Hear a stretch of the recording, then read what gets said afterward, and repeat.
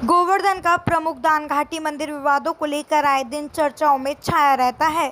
इस मंदिर में कभी दर्शनार्थी श्रद्धालु के साथ मारपीट कर दी जाती है तो कभी राहगीरों के साथ। इस मंदिर में कई बार तो थाने में कार्यरत पुलिसकर्मियों के साथ भी मारपीट करने की वारदातें तक हो चुकी हैं।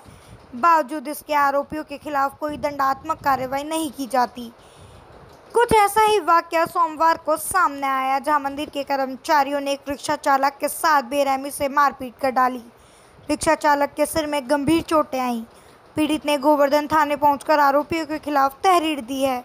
वहीं पुलिस ने रिक्शा चालक से तहरीर लेकर मामले की जाँच शुरू कर दी है। क्या नाम है आपका? जितेंद्र सिंह। कहाँ के रहने वाले हो आप? क्या करते हो? मैं रिक्शा चलाता हूँ। तो क्या हुआ था?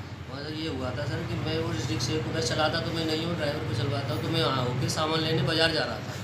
तो मैं सवारी सी देखी लालच आ गया, मैंने कि नहीं मोड़ के नहीं सवारी ने बैठा लो। तो मैं मोड़ ना बातें पहले आने मेरी गाड़ी में डंडा दी और ई रिक्शा में। डंडा देती मैं करो भैया यार हमारी रोज ये यहाँ डंडा गाय की तरह हम तो वैसे ही कहते हैं मैंने हम वैसे ही चले जाएँगे। मैं, नहीं, तेरी बहन का चोदूँ यहाँ भोसड़ी का तुमने ये कर रखा है, वो रखा है और चल यहाँ से साले भक्त, ये गाले मार दियो। तो गाले जब आने मारो तो मैं गाड़ी भी तो उतर गो उतर गो तो दूसरे ने डंडा मार दियो। इसलिए मेरे सिर पे चोट आ रही देखो। फिर दो चोट है। फिर दो चार छः पाम में मारे। वो भी आठ दस है गए सब हमने खौफ दिए हैं सब ढंग दे दिए हैं हमने। और आपके सामने उसके बाद क्या कार्रवाई की आपने? जी?